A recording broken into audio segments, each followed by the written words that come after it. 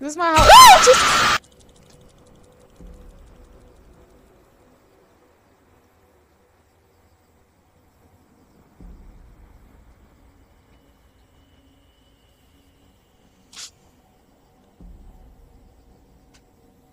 Mm.